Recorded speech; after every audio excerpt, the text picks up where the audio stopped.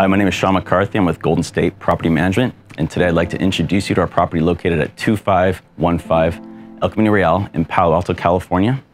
This is a new mixed-use development right across street from Stanford University between Page Mill Road and California Avenue. This luxury development is made up of 10,000 square feet of retail space, 5,000 square feet of office space, and 13 two bedroom, two and a half bath, townhouse style luxury apartments.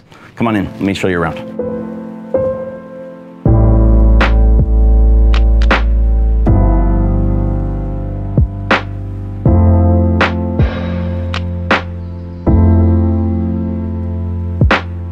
First floor has large balcony right here and floor to ceiling windows.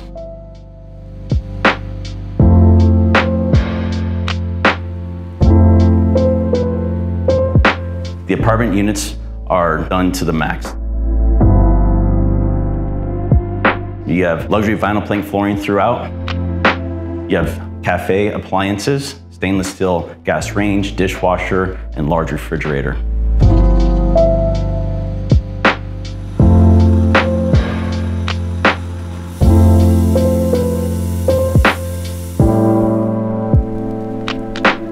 As you go up to the second floor, you have in-unit skylight, high efficiency washer and dryer, AC, primary suite features private balcony, double sinks, walk-in closet, and a large stall shower.